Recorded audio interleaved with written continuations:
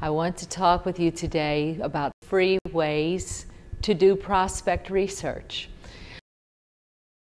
When you're doing your free research, start with the name, continue to work through that area until you get to the wedding and funeral announcements.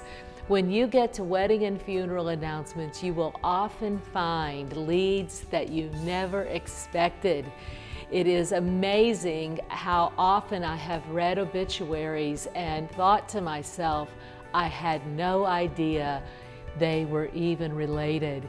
It is often in a wedding or obituary announcement where I find an existing relationship that I am able to leverage in order to move things forward with that particular prospect.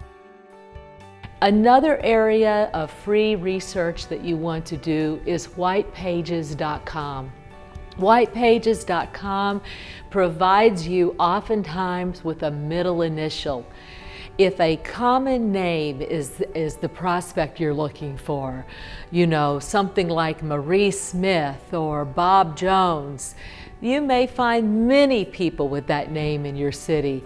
Whitepages.com allows you to narrow down the name of the person that you're looking for and oftentimes on White Pages you will also find relatives names. Again, the opportunity to identify a spouse or identify even a sibling or a child who may be able to connect that prospect to your organization. There is also another place that is a little farther downstream that I want you to look, and that's at the Foundation Center. When you visit fdncenter.org, there is a pull down called Find Funding.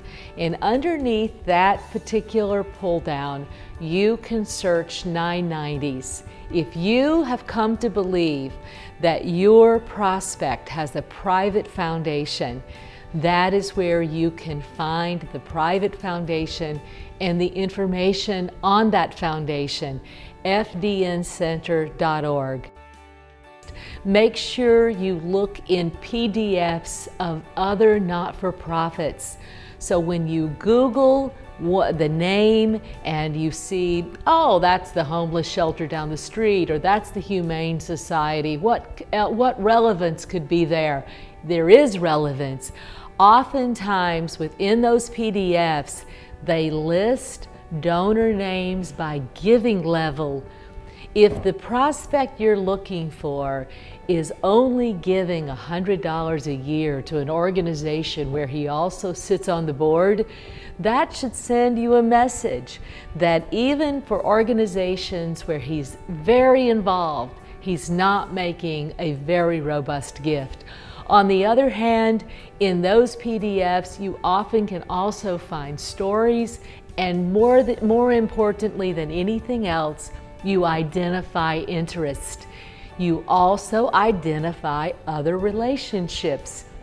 So let's say you have decided to pursue your prospect. Now within this PDF, you see an existing board member from your organization. Now you know who to call in order to connect you with your new prospect. You can find more tips just like these at my website, miraclestrategies.com or at thegiving.net.